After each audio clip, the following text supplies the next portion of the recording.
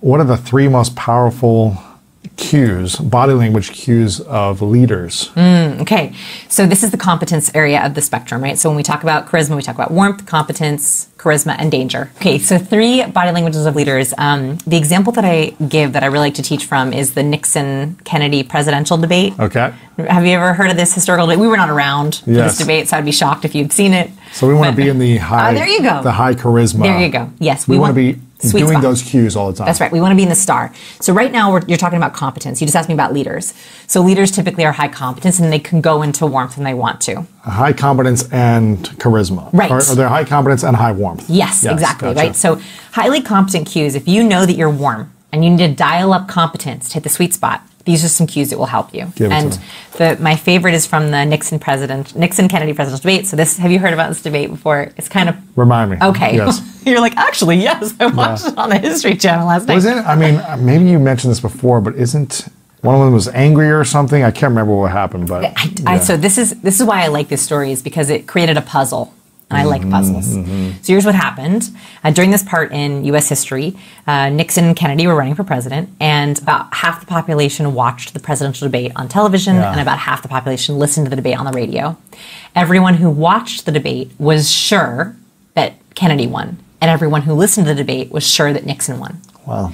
And it was the first time where there was a discrepancy between the winners, the perceived winners. Because one sounded competent, the other one looked warm. One sounded like a leader and one looked like a leader. Ooh. You match them together, that's the sweet spot. That's the star. okay. That's the star. Exactly. So, so one sounded like a leader. So Nixon sounded like a leader. He had really good vocal power, but he looked like a loser. Mm-hmm. And I hate to use that word, but he himself said in his memoirs he believes he lost that entire presidential election based on the first few seconds of that debate. First few seconds. He himself said that. What he s- what happened? So Okay. he was all he was kind of like the Shark Tank guy trying to buy back competence and warmth at the he same time. He gave away his competence in the first few seconds of the debate. So anyone who saw it went, oh, no, no, no, no. This guy is not a winner. And this was before they even spoke. So in the first 30 seconds of the debate, neither of them speak. You see them on camera. And if you were watching, you saw, wow, Nixon looks so weak. And here's why. What most people don't know is that Nixon had just injured his knee on the campaign trail and he had been in the hospital for the week. So he came in with a bandaged knee and a fever. Kennedy had been tanning. yeah, he was, he was like a nice suit and everything. He was ready to go. And also, a kind of funny thing is the debate was in black and white, and um, Nixon's suit was too brown. It blended into the background. So we, I talk about color psychology at the very end of the book, colors, and so that was an interesting one that he didn't pop as much on the black and white. Okay, Yeah. so he shows up and he's sitting in what's called the runner's stance. The runner's stance is when someone, so you know, runners before they win a race, they like go into the crunch position, one leg back. We know this as a readiness position. Universally across cultures, if someone's about to run away from us, they will get into this position, right? Like they're literally about to run away. It's why sprinters start a race like Yeah. that. Well, Nixon spent the first 30 seconds of the debate in that position. Because of his knee. He was 'Cause of like, his knee. He was in pain. He was trying to like just. He was nursing it. Yeah. But it made it look like he was about to run out on us. That's from a, just a quick nonverbal perspective. The first impression was, where's he going? Even though people didn't consciously realize it, he looked not planted. And we don't like leaders who aren't going to stay with us. Whereas Kennedy, on the other hand, he had a, a really uh, nice, uh, relaxed cross, and he used what's called humility hands. Research calls it humility hands. Humility hands are when your hands are on your leg and they're resting. Humility, humble. Humble. So he looked relaxed, calm, here to stay.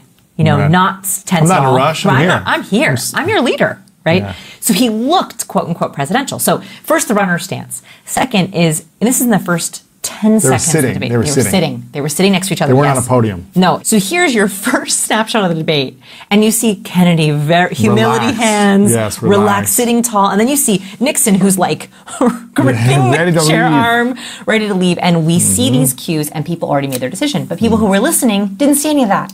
Right. They heard the voice. They heard the Yeah, voice. Interesting. And so Nixon lost the debate to Kennedy. He lost the election to Kennedy. And he said in his memoirs, that's why, is because of the cues I sent. And so for leaders, here's what we want to think about. One is relaxed, here to stay. So the more you can settle into your place, the distance, this is such a weird measurement. I want to see the biggest distance between your earlobe and your shoulder. The So not like this. Yes. Yes.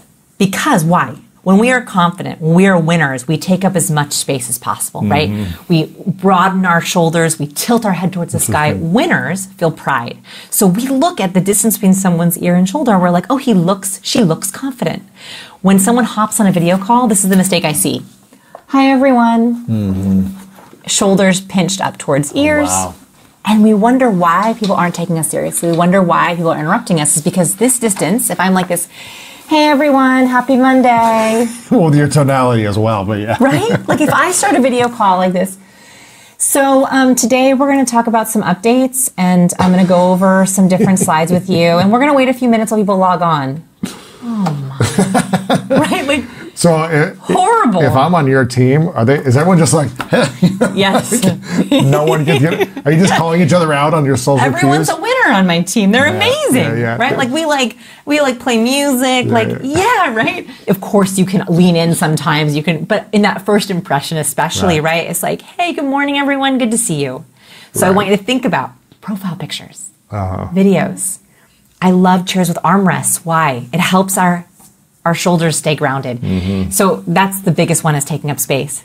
The second thing that happens that also gives you more vocal power. Mm. So if I were to do my this entire interview with my uh, shoulders up, it would look bizarre, right? Right, You- I would- look scared. You would be more It would- Yeah, it would be. And so if I tense my vocal cords right now, I'll begin to go into vocal fry. So vocal fry. Have you heard this before? Mm-hmm. Yes. It's when your voice sounds like sizzling bacon. I just don't know. I'm not sure, but Sure. like I was just thinking about it, and if it's oh my goodness, it's horrible. Mm-hmm. And the reason why we'll accidentally go into fry is because we're literally clenching our vocal cords, and it, they cannot get enough breath.